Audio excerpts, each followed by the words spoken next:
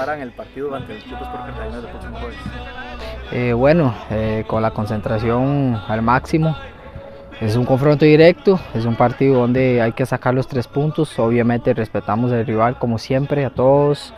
Y no, eh, venimos trabajando bien, mejorando algunas cosas que, que, por ahí fallamos el partido pasado.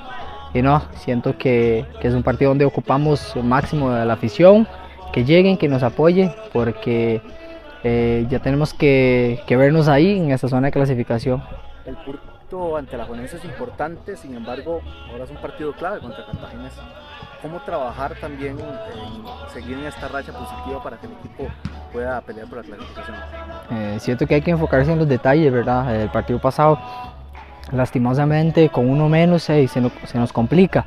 Por dicha, y gracias a Dios, pudimos empatar y bueno, nada, siento que hay que tener la motivación al máximo eh, entre nosotros y no, hacer lo, lo que venimos hace, haciendo y Dios primero sacar los tres puntos. A nivel personal, ser protagonista con el equipo, estando ahí sumando minutos, ¿cómo se va tomando?